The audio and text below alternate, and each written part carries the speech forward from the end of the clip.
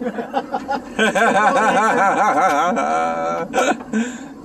I have caught catfish trolling, but We've got uh, lingcod trolling, but we're nowhere near the, the reef or anything that I know of. okay.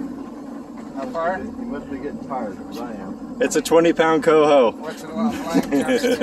Uh, 919. He's right Oh, here. right there he is.